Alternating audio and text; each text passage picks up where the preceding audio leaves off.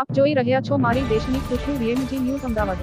આજરોજ અનુસૂચિત જાતિ મોરચા ગીર સોમનાથ દ્વારા આદરણીય વડાપ્રધાન નરેન્દ્રભાઈ મોદીનો મન કી બાત કાર્યક્રમ પ્રસંગે સુત્રાપાડા શહેર અનુસૂચિત જાતિ વિસ્તારમાં આવેલ ડોક્ટર બાબા સાહેબ આંબેડકર હોલ ખાતે મન કી બાતનો કાર્યક્રમ રાખ્યો. આ કાર્યક્રમમાં સુત્રાપાડા શહેર ભાજપ પ્રમુખ દીપકભાઈ કાચેલા, જિલ્લા અનુસૂચિત જાતિ મોરચાના પ્રમુખ માનસિંહભાઈ વાઘેલા, જિલ્લા મોરચાના મહામંત્રી કાંતિભાઈ ચુડાસમા, જિલ્લા મોરચાના પ્રભારી ગિરીશભાઈ ભજગોતર, સફાઈ કામદાર સેલના જિલ્લા કન્વીનર બાબુભાઈ કિમાણીયા જિલ્લા મોરચાના ઉપપ્રમુખ કાંતિભાઈ વાણવી, મંત્રી શ્રી પ્રભુદાસભાઈ સુત્રાપાડા શહેર મોરચાના પ્રમુખ જાદવભાઈ, તાલુકા મોરચાના પ્રમુખ પ્રતાપભાઈ શહેર મોરચાના મહામંત્રી નાનુભાઈ ચૌહાણ, મોરચા ઉપપ્રમુખ નાનજીભાઈ વાણવી ખાડી સમાજ આગેવાન સામતભાઈ વાજા, મોરચા ઉપપ્રમુખ વિજયભાઈ સમાજના આગેવાન શ્રી પ્રતાપભાઈ વાણવી હમીરભાઈ ચાવડા, હરેશભાઈ વાણવી તેમજ ભાજપના અનુસૂચિત જાતિના સૌ કાર્યકરોએ હાજર રહ્યા હતા. રિપોર્ટર ભીમજીભાઈ ભજગોતર ગીર સોમનાથ.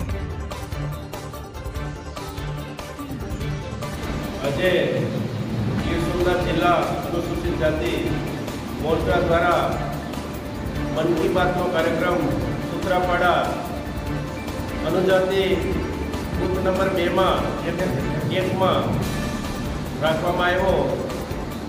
એમાં સુત્રાપાડા શહેર પ્રમુખભાઈ, દીપકભાઈ કાચેલા, અમારા મોરચાના પ્રભારી ગિરીશભાઈ, મહામંત્રી કાનજીભાઈ પ્રમુખ કાનજીભાઈ, તમામ બુથના કાર્યકરો એ આજે મનની વાત વ્યવસ્થિત સાંભળી.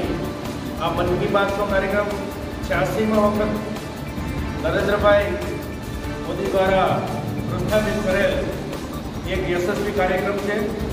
આપણા આદરણીય વડાપ્રધાન શ્રી નરેન્દ્રભાઈ મોદી મન કી બાતમાં જે કાંઈ પણ કહે છે એનાથી દેશના દરેક નાગરિકોને પ્રેરણા મળે છે અને દેશ અને દુનિયામાં જે કંઈ પણ બનાવો બને છે દેશ પ્રગતિ કરે, વિશ્વ ક્યાં પહોંચ્યું એની નાનામાં નાના કાર્યકરને ખબર પડે છે.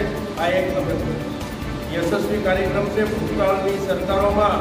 વડાપ્રધાનો રાષ્ટ્રીય તહેવાર પંદરમી ઓગસ્ટ અને છવ્વીસમી જાન્યુઆરી બે જ વખત લોકોની વચ્ચે આવતા બે જ વખત બોલતા હતા.